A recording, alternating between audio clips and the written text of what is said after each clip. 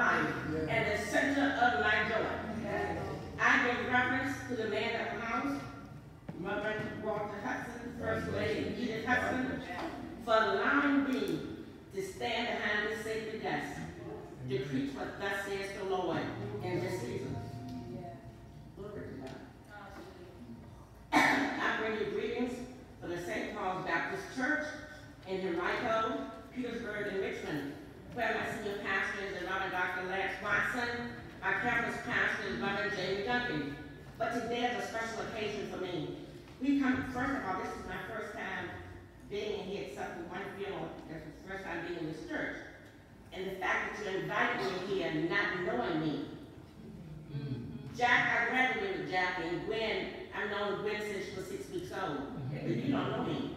you don't know nothing about except that when you she in my Bible, my mom and dad is Frank and Laura Dandridge. But you know, today I'd be amiss if I did not recognize my family. Would you please stand, family? That's my sister right there.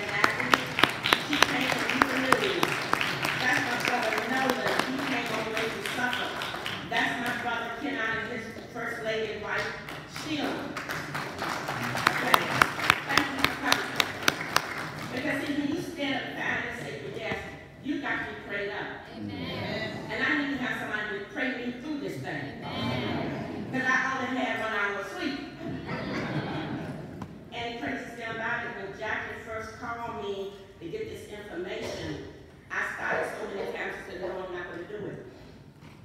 And the reason why I was in the process of moving from Dinwiddie to Richmond for my job. And I thank God that he sent me an angel and my brother that did everything for me. But if you have your Bible today, I'm not going to be before you long because I have two timekeepers and they're stickler for time. if you have your Bibles with you, would you please, Bible, electronic devices, cell phone, whatever y'all use in this 21st century. Okay, and I thank and praise God for Sister Patricia Bird Pritchett. She's already read the scripture. The scripture was came out of Romans 15th chapter. My pericope is verses 7 through 13. But this afternoon, I'm going to focus on verse 13. So I need you to stand with me on that one because that's a powerful verse. It's mighty powerful. It's going good. Verse 13, in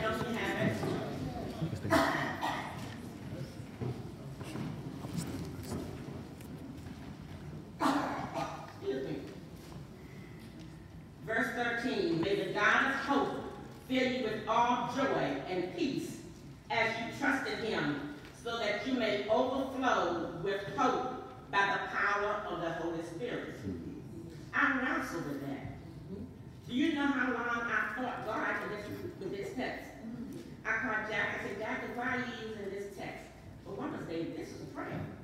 This is a prayer that Paul is doing. And I can say, God, what is it? But he gave it to me. He has such an awesome sense of humor. So I'm coming from strictly the 13th verse. But before I do that, let us pray. Would you join hands with those around you? God's word says, by two or three are gathered together in his name, and shall agree on earth as touching, that whatever we ask in the name of Jesus, it shall be done. All right about it.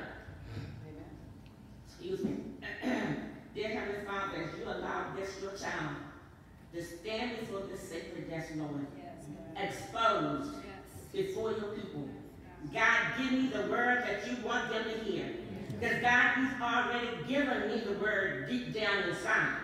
But God, it's up to you to bring it forth. God, I ask you right now to anoint my tongue, to touch my throat, touch my mind, touch my heart. Lord, I'm doing your will, not our that's will. So whatever it is your will is today, Lord God, just let me have your blessing and do what you want me to do. God, I give you all glory. I give you praise. Is in the name of your darling son, Jesus, I do pray.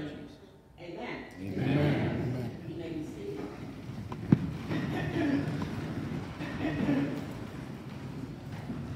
I will speak for a few moments on this subject. Hope is the bookends in Romans 15, 13. Let me say that again. Hope is the bookends in Romans 15, 13. Now, oftentimes we think of bookends as a support for, for, the, end, for the end of, of books. Because you just can't stand a book up and expect that, expect that book to stand without falling.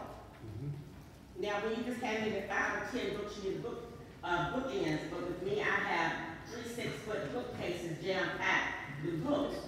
And that's when you come studying. When you get old, you got to do a lot of studying and research. The bookends I found in my reading are positioned at the end or outer side of something. The bookend that I'm talking about is hope. St. John, is, is there any hope for you today? Yeah. Is there any hope? Amen. The future is uncertain. What if I was in the White House and he think that it has to be his way or no way? I think he think he's the apprentice. You're fired. Uh, and then he has the nerve to ask Congress for $8.6 billion to build a wall to keep the people coming from Mexico and points beyond from coming into America. We are the melting pot. Why are you trying to keep these people out? You want to spend that time wondering, where's my health care? Think about it. Where's our health care? $8.6 billion? Yeah, we could all must be living in a fine house, nice car, going to the doctor we want. We can't even get that. But families are falling apart. Children are being abused. Drugs are running, running our cities, towns, and schools. Gun violence is killing our people. Is there any hope? Can we possibly have peace and joy in our hearts? Can we find fulfillment in life? Can we possess the power and strength to live meaningful lives? My answer to you today is yes. There is hope. As the Bible says in Romans 15, 15, may the God of hope feed with all joy and peace as you trust in him, that you may overflow with hope by the power of the Holy Spirit. There's hope in God, for our God is called a God of hope. And when you're at the end of your proverbial rope, don't attempt to tie the knot into it to hold on. Just let go and trust Jesus to fill you with hope through the power of the Holy Spirit. If we ask the question, if everything is falling apart around us, who or what can I put my hope in? I don't know about you, but I tell you this thing. My hope is built on nothing less oh, than Jesus' blood and righteousness. All right. I dare not trust the sweetest frame, but wholly lean on Jesus' name. All right. I want to try to answer who or what can I put my hope in by looking at Romans 15, 13. As you're going through the text, and I know you're all are flipping to the book and checking me out. But in chapter 15, as Paul is nearing the end of his letter to the Romans, excuse me, the Roman church, he is once again come back to the importance of hope. If you think about the word hope, it's a word that we use as a daily part of our vocabulary. We usually use it all the time. We hope it stops raining. Sisters, we hope it's not too hot and human because it will mess up our hairdo. We hope our guests will leave soon so we can rest before going back to work in the morning. We hope we get a COLA in our Social Security check. COLA, cost of living adjustments. So I know that, and Jackie told me the age group that I'm speaking to. And quite a bit of you are on Social Security. Don't try to fake it. A lot of y'all on Social Security. So we look forward to those Social Security checks. We, we also said, we hope there's a great sale at Dillard's or Macy's, and my sister would attack that. Yes, we hope. We hope. We hope. We use it all the time. And the scripture, hope is used over 200 times. It can be summarized around something like hope means a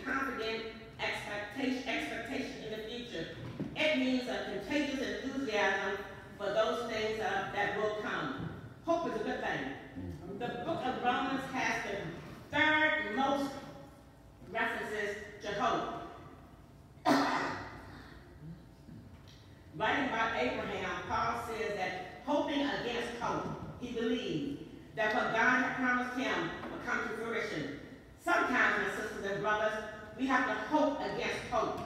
And despite of pains and the doctor's report or the stack of bills piling up on the table, with all this evidence before us, we see, we still cling to hope that things can be better and things will be different.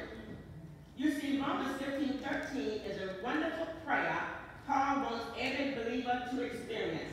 Now may the God of hope fill you with all joy and peace in believing so that you will abound in hope by the power of the Holy Spirit. When you read a verse like that, you must, you must ask yourself, does this verse even come close to describing me? Do I have hope? Do you have hope? Or do you just slope your hands and can't do it? What are we doing? Let's tell the truth, shame the devil. Mm. At times we do throw up our hands. I can't do it. Mm. I don't want to do it. I'm stepping on my own foot. That's why I pull the shoes off. Because before I can preach it to you, God preached it to me. And I go, I go up all the time. I can't do this. I can't do that. Does this verse describe you? Can I honestly say that my life is filled with all joy and peace in believing? Can you? Do I abound in hope? And since we all tend to give ourselves the benefit of the doubt in these matters, I need to ask, what would our family, what would your best friend describe as you being filled with joy and peace and believing and abounding in hope? Now, as I looked at the rows of books that was on the shelf, it wasn't that many books, so I had to use bookends. Mm-hmm. The first book I picked up was Joy. James 1 2 admonishes us, My brethren, count it all joy when you fall into various trials Therefore, we also look at John 16, 24 tells us, until now you have not asked for anything in my name. Ask and you will receive, and your joy will be complete. All right, after put joy back on the shelf because I got, got what I needed from joy, the second book the shelf is entitled Peace. John 14, 27, you usually hear this at a funeral, but it's not always in a funeral because you get peace from 1427. Peace I leave with you. My peace I give to you. Not as the world gives do I give to you. Yeah. Let not your heart be troubled, neither let it be afraid. Yeah. Romans 5 1 states, Therefore having been justified by faith, yeah. We have peace with God through our Lord Jesus Christ. And Romans 15 33 and Paul and, and Romans 16 20, Paul describes this person of hope as a God also of peace. He gives perfect peace to his people. To varying degrees, we all fall short of experiencing that verse. So we can all benefit by thinking about it means, by what it means and how we can grow in these qualities. I can imagine anyone saying, I'm not interested in having joy and peace. I want joy and peace every day. Peace when I get up in the morning. Joy when I walk around through the day. Joy when I get ready to walk into my house. Joy when I can lay down in my bed and knowing I can flip the, flip the TV on and look at TV all night long. That's joy. I don't want, yeah, have you ever heard anyone say, I don't want to abound in hope? We all want hope, and we need these qualities. And yet, even among believers, very few can legitimately claim to be filled with all joy and peace and to be abounding in hope. The third book, I went back to the shelf again. I put back joy. I put back peace. But this time I picked up trust. Yeah. Proverbs 3, 5, and 6 teaches us to trust in the Lord with all your heart and lean not into your own understanding. In all your ways acknowledge him, and he will direct your paths.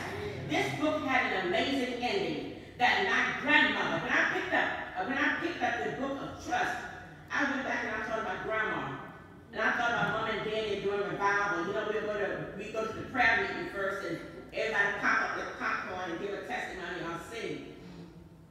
But one of the songs that still sticks with me to this day is, "I will trust in the Lord. Mm-hmm. I will trust in the Lord. I will trust in the Lord oh, yeah. till I die." Yeah. The final book that, that I picked up was Power of the Holy Spirit. First Thessalonians 1 5. For our gospel did not come to you in word only,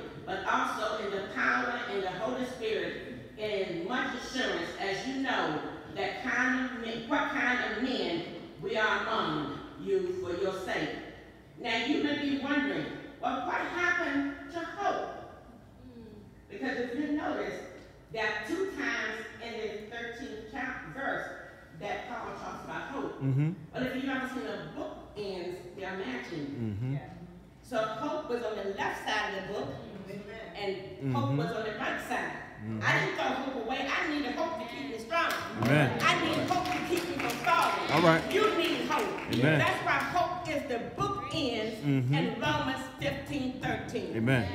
That is where we have to get our strength from. From the book ends. Glory to God. I picked up the second book, which was Hope. Book end. I picked up the second book end. Because I already put the first one down on the left side. On the right side, when I booked the picked of the bookshelf, I got to looking at the book ends. I said, oh, I never noticed that this book end had a word written on it. It was engraved with hope. Romans 8, 24 to 25 reminds us, for we are saved in this hope. But hope that is seen is not hope. Come on. For why does one still hope for what he sees? All right. But if we hope for what we do not see, we eagerly wait for it with perseverance. Jeremiah 29 and 11. Glory be to God. That's part of my Paul story. For I know the thoughts that I have to Come on. Thoughts of peace and Uh-huh. not evil to give you hope Uh-huh. and a future. The God of hope wants us to be filled with all joy and peace in believing, Mm-hmm. so that we will abound in hope by the power of the Holy Spirit. He also, he also is the object of our hope. And you know who the object of our hope is? Yeah, it's God. And I'm going further, I'm going to tell you why I'm saying what our object is. The deepest root of a Christian woman is hope in God. All right. That's why we start defining Christian women. A Christian woman, I don't care how bad it is. Mm-hmm. I don't care if she has to rub two pennies together to get a nickel for gas in the car. Come on. To pick the children up or pick the children to the doctor. All right. That She's good. Christian woman is going to find a way to make it. Yes, sir. Am I right about it? Am I right about it? A Christian woman does not put her hope in her husband or in getting a husband. A Christian woman does not put her in her looks.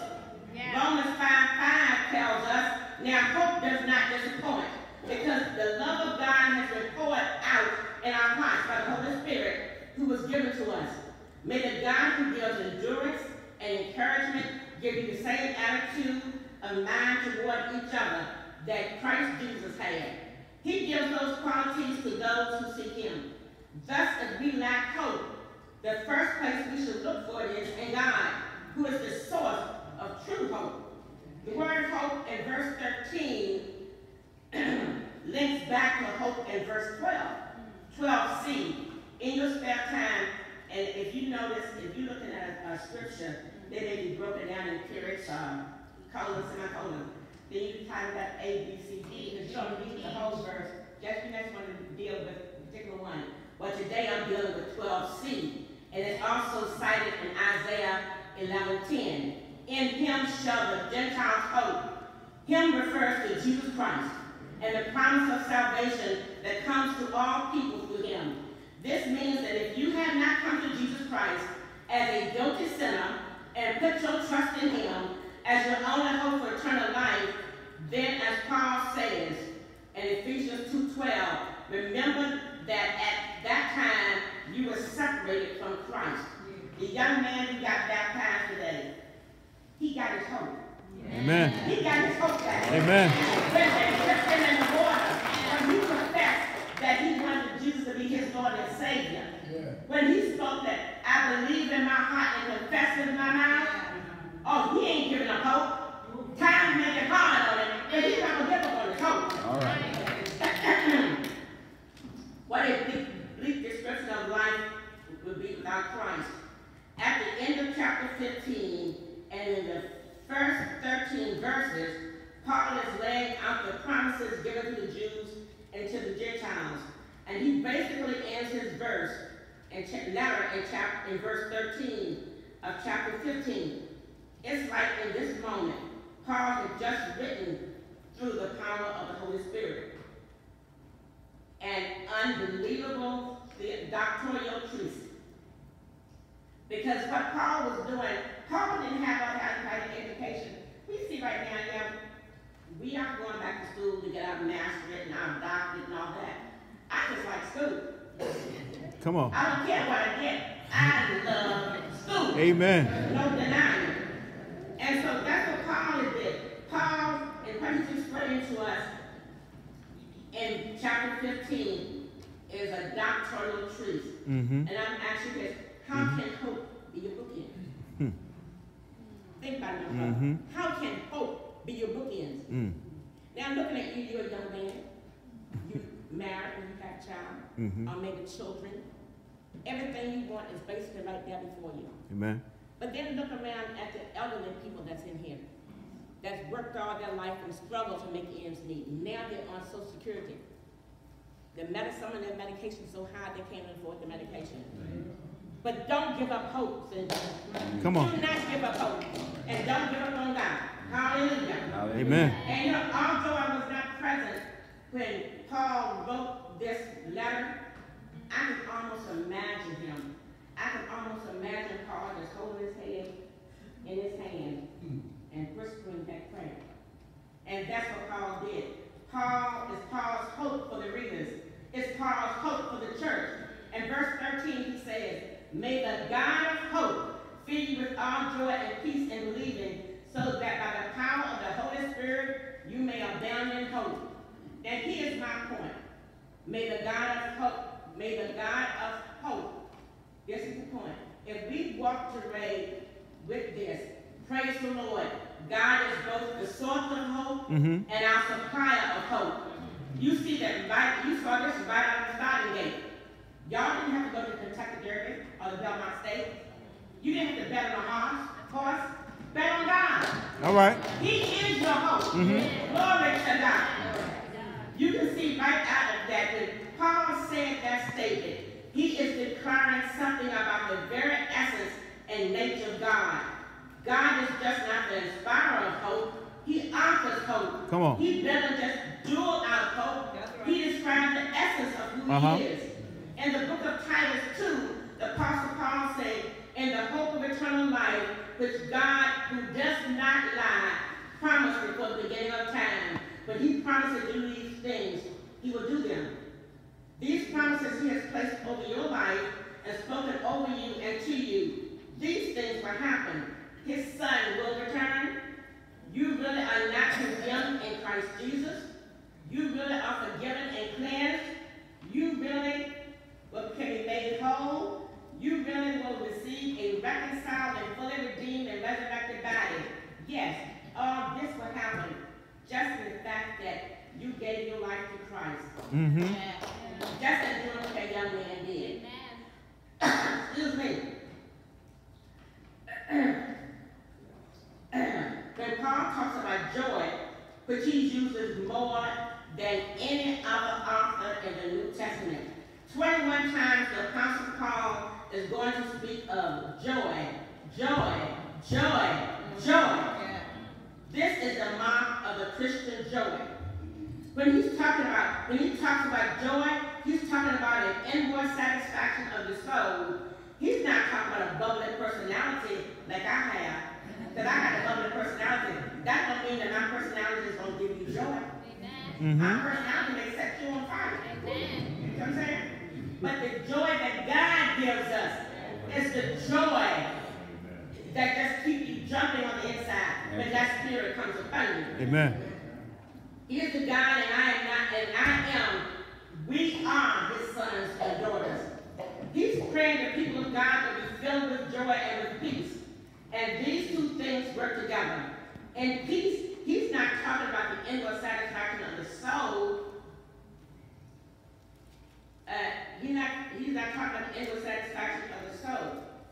Okay, the deepest root again of a Christian woman is hope in God, and it yields the strong tree of fearlessness in the face of suffering. A woman in Christ knows her Bible. Ladies, do you pick your Bible up? Do you pick it up? I'm not chastising you. God knows I'm not chastising you. Because I know, you know, the best sleeping pill you can prescribed. the best sleeping pill, what is it? Don't cost you nothing from the drugstore. The, the day when you get home from church, after you put your church clothes off and you get comfortable, pick the Bible up and say, I'm going to read this Bible for the next hour. Within 10 minutes, you're snoring. Within 10 minutes, you're going to be snoring because the Bible tranquilizer to some. Y'all know y'all supposed to read, but I'm not going to beat you up because God knows I can't do it. Every time I try to sit down and read it, I fall asleep. That's why I keep it on my phone. That's why I keep it on my notebook. That's why I just keep it. So if I get, if I fall asleep reading it, then at least I can hear it. Am I right about it? It's, it's important at this point to stop and remember what Carl is talking about. The joyful person is the kind of bubbling, cheery, and extroverted woman or man who lives to be around people and lights up a room. I'm not trying to come in here. And y'all know back in the day, you know, we used to, used to have those house parties, and things doesn't jump off until a certain person come there. Time person, I, you I know y'all but you know what they do, you know, when the house party get dull, and so-and-so walks in the room, and things pick right back up and start jumping. You didn't bring joy to the room, you watch, you watch yourself, and they just want to look at you. I'm right about it. I'm right about it. Uh-huh. Right about it. What he's talking about here is the fruit of the Spirit. What Paul is praying is that God of hope would fill you with the evidence of the fruit of the Spirit at work in your life. You think about Galatians 5, 22, 22 to 23, where Paul writes, But the fruit of the Spirit is love, joy, peace, forbearance, kindness, goodness, faithfulness, gentleness, and self-control. Against such things there is no law. When Paul is praying and asking for hope of God, and that we will be filled with the evidence of the work of the Spirit in our lives, to fill up, be filled up with this, he says, May the God of hope fill you with all joy and peace in believing. Here you see the interplay of the working between God and you. You see in chapter 15 and 4, we have hope through the persevering and encouragement of the scriptures. And as 15:12 indicates, Jesus is the object of all hope. He is the Savior who has freed us from condemnation. He has given us eternal life as a free gift. We are encouraged by the steadfastness of women and men facing hard times who held unto hope in God's promises. You see the message, the passage from Isaiah 11, 1 through 10. I'm not going to read it, but I would like for you to read that. Write this down because this is really some good um, GPS. Grow, pray, and serve. That's what GPS is. Grow, pray, serve. The passage found that we read as a, as a call to worship, and that Paul refers to in Romans 15. And in 10, it's, on, it's about his stump, and yet it is a passage of hope. Now, they're to cut that big oak tree down on the other side of y'all parking lot. Right y'all used to hang out shade, y'all don't have this shade in this parking lot. But when they cut that tree down, did you lose your hope? They left the stump there. The stump is still there. And imagine that the stump is going to be getting uh, termites. But what Paul is talking about is not a wooden tree stump. He's talking about Jesus Christ. Yeah. He's talking about Jesus Christ. You're not going to get termites. He will give you all the shade you need if you just lay in his bosom. Yeah. He's going to overshadow you with the Holy Spirit.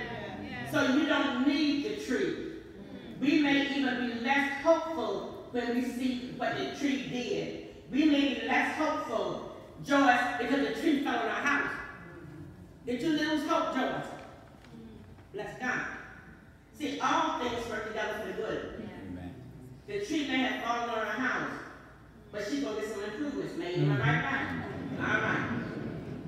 How do you hold unto hope in a circumstance like the tree that fell on the tree of your nation has been cut down and seemingly destroyed? You keep looking to God. Isaiah says, I will stump of Jesse, Jess shall come in new shot, a new leader, and the Spirit of the Lord will rest on him. Someone powerful and good is coming. You will make things right. Like Isaiah, when we feel like life is chopping us down, we can hold onto the hope by looking to the Lord by remembering those who endured tough times Mhm. before us and by taking a long range view. If we think about the women of St. John who have been here before us, shoulders you are now standing, Come on. it's because of those women. Amen. Amen. You know, when y'all have revival, the ones who sweated in the kitchen, uh, sweated and what the food outdoors under the tree that y'all should cut down. But those women sacrificed time, talent, their little pennies the husband gave them to make sure y'all had fried chicken and potato salad. Come on. Am I right about it? I, I'm telling you like it is. And Nancy James been up to Shiloh doing, uh, doing homecoming. Am I right about that, Nancy? Right? So she know what that chicken potato salad was all about. Amen, amen. It takes time for a shoot to grow into a new tree. All it takes is one blossom of hope to make a spiritual garden. The working here, the working there is in that phase, in believing. What the Apostle Paul is saying, if you follow the thread through the book of Romans, and believing means that you have placed your love and trust, you have placed your confidence and your faith in the one who sent to redeem and reconcile you. You do, do you know who I'm talking about? Who is it? Who am I talking about? Well, it's Jesus Christ. Ahead, Shirley, you can tell me who is that? Huh? Children out. When Paul was had what Paul had been honored all through the book of Romans is, although we are condemned, God made a way. How you may ask, through his son Jesus Christ. Although we were condemned, although we were without hope, God himself sent his son to reconcile lost sinners. Even while we were sinners, Christ died for us. Come on. This phrase in believing is you and me putting our belief, our trust, our confidence, and our hope in the one who has been reconciled, who has reconciled us, the one who died in our place. Mhm. Paul again says, May the God of hope fill you with all joy and peace in believing. So as you believe on the one in whom I sent, as you believe on the one who died on the cross for your sins, as you believe on the one who rose from the dead, as you believe in him, as you place your love and your trust in the Lord Jesus Christ, the Spirit is at work within you, producing fruit of the Spirit. Then he goes on to say, so that, so that. The turning the prayer here is where Paul is going to outline the why behind the what. Mm-hmm. Where, is he, where, where he's going to say, this is why I want this. This is why I'm praying you will be filled with joy and peace. Why? So that by the power of the Holy Spirit, you may abound in hope. Mm-hmm. You see, at this point, the prayer itself is bookend with hope. It begins with hope. May the God of hope abound you in, in, in hope. So I just want you to see what Paul in this beautiful one-line prayer is showing us.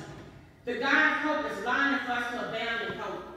How does that happen? He's saying, I'm praying you will fill, be filled with the fruit of the Spirit. And as you're filled with the fruit of the Spirit, and inward satisfaction of calmness of the soul, joy and peace happens.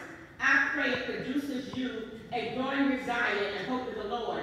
And as you have a growing desire and abundance of hope in the Lord, it is producing in you more evidence of the fruit of the Spirit. All right. As you learn to see the Spirit work in your heart more and more, and as the fruit of the Spirit is giving evidence of His work in your heart, more and more producing joy, producing peace, satisfaction, calmness of the soul, that is producing an abundance of hope. The good news here today is about the one who supplies hope, is that He has an abundant supply of it. How good is it for you to hear on a Woman's Day morning like this when there's not one of us, male or female in here, who doesn't have hope? The good news for you is, hear this, is that God has hope for you, not just ration out to you, but in lavish, abundant supply. As hope grows in you and wells up in you and spreads in you, he has more for you. As hope is small in you and swivel in you and you're parched without it, he's saying, I have it. I have it for you. I am both the supplier and the source of hope and my supply is abundant. The Apostle Paul prays this prayer for his people. It's a benediction and a prayer that I hope for this, that this church has as well. That the God of hope mm -hmm. will fill you with joy and peace in believing that you may abound in the power of the Spirit. This body, which may not be working properly, the cells aren't doing what they need to be doing. Mm-hmm. I know sometimes I can be cantankerous.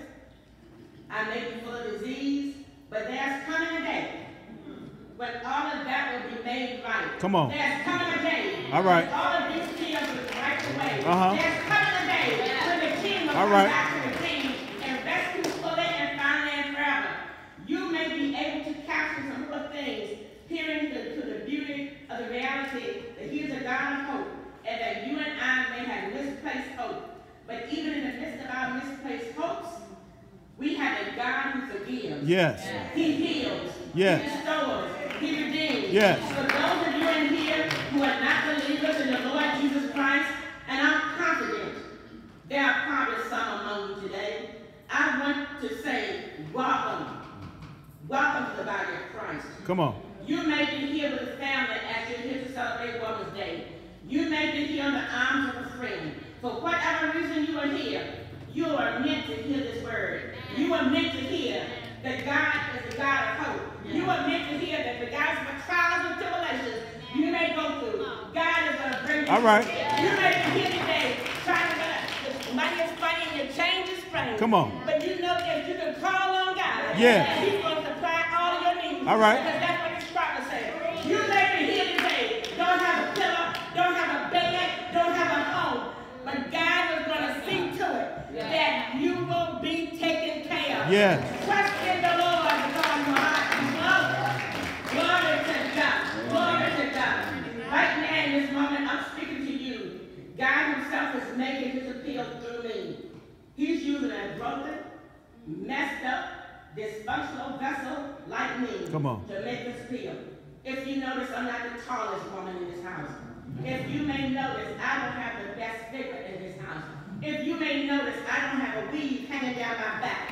If you may notice, I don't cross every T and I don't dot every I. But I can tell you right there that in case you don't know, I got Jesus.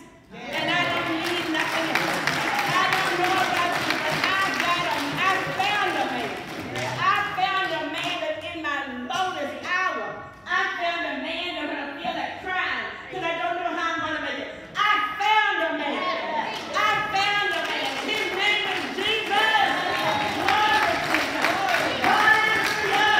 His name is Jesus. All right. I know the word tells us that a man who finds a wife found the favor with God.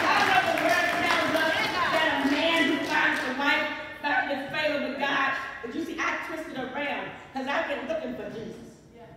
After running 27 years from my car to the ministry, I had gotten knocked down. I had gotten depressed. I didn't know which way I was going. Yeah, I was looking good on the outside, but I was torn on the inside. Glory to God. One day sitting in church and I was dressed up and looking good.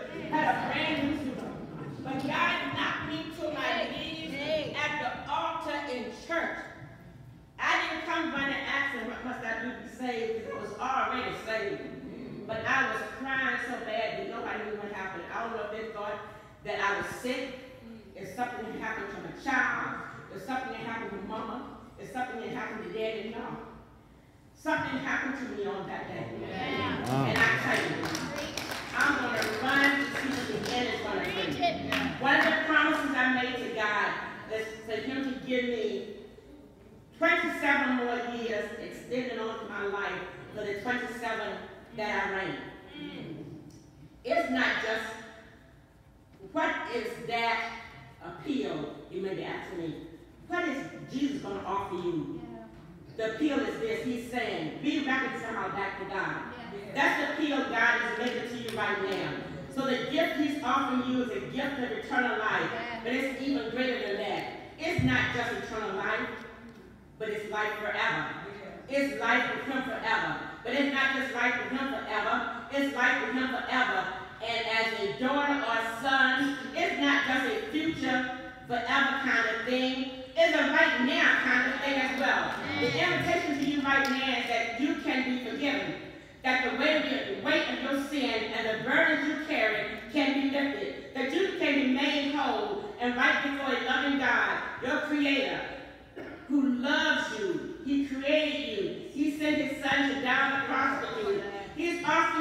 righteousness that you and I could never earn. He's offering for you and I the love that the world cannot give you. Here's the deal.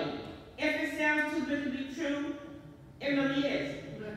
You know, you hear it on the TV for 1995. You can get a spring, spring water, and that water will heal you and all this kind of stuff. They got that water out of they got that water out of the faucet of a rusty way. And they're trying to sell it to you. And, and most people don't have to pay for 1995. You don't need to pay no money to be here. Amen. You don't need to pay nobody the money to be healed.